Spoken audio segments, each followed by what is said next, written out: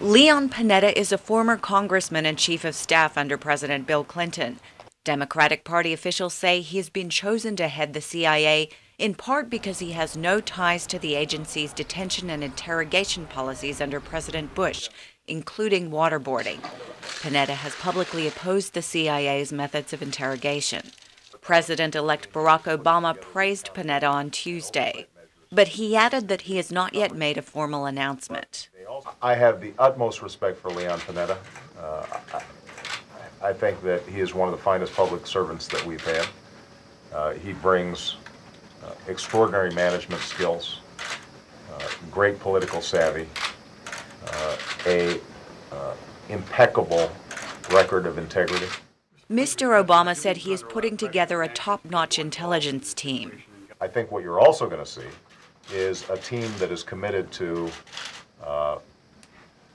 breaking uh, with some of the past practices and concerns that uh, have, uh, I think, uh, tarnished uh, the image of the agencies, the intelligence agencies, as well as U.S. foreign policy.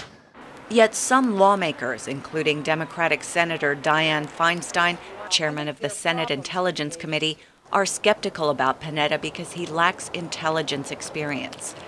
Anthony Cordesman is a national security analyst with the Center for Strategic and International Studies. When somebody comes in from the outside, their focus is bureaucratic, it's getting influence with the president rather than serving the full group of users.